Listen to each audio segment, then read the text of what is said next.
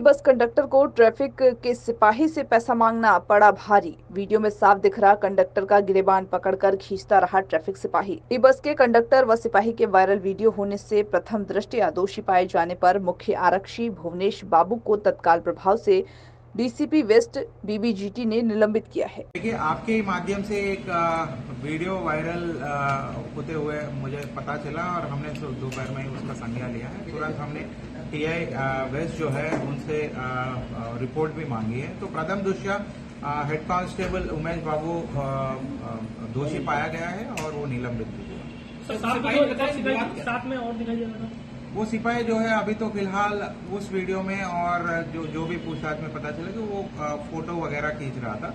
लेकिन उनके ऊपर भी जाँच चल रही है और जो भी अगर उनका भी कुछ इश्यू अगर समस्या है कुछ इश्यू आता है तो उनके ऊपर भी कार्रवाई। विवाद किस बात को लेकर? सिटी बस मतलब ये तो, ये तो अभी फ़िलहाल पूरा जाँच चल रही है कि एक सिटी बस और इनके बीच में कुछ टिकट वगैरह उसके रिलेटेड कोई इश्यू हुई थी।